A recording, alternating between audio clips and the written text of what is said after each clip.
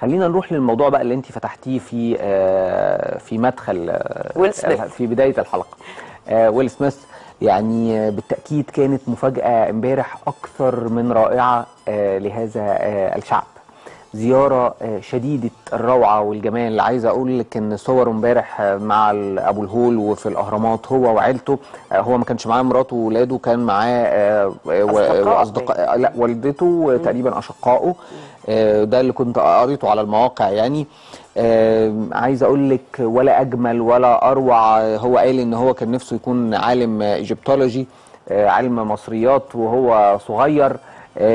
السعادة والفرحة وال- وحالة الأمان اللي اللي اتكلم بيها عن مصر وقال إن هو الزيارة دي نفسه يعملها من 2006 وإن هو كان اتكلم مع الدكتور زاهي حواس. قبل كده هو كان يعرفه والدكتور زاهي كشف إن هو كان نفسه يعمل الزيارة دي من 2006 لكن كان خايف بسبب ما يتردد عن مصر ويقال عن مصر وفوجئ بالزيارة دي.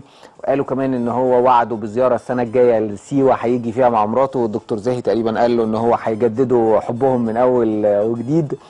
آه، أنا بشوف إن دي زيارة رائعة. لو إحنا آه، قدرنا إن إحنا نستقطب زي ما جنبنا دبي و- وغيرها من الدول بتفكر بالطريقة دي وبتستقطب نجوم عالميين آه، لبلدها. قد إيه دي رسالة مش محتاج بقى. ولا أنا محتاج الخارجية تطلع تقول إن إحنا وضعنا آمن ولا محتاج الاستعلامات ترد على الأكاذيب اللي بتحصل ولا محتاج الداخلية تطلع بيانات ولا محتاج أي حاجة.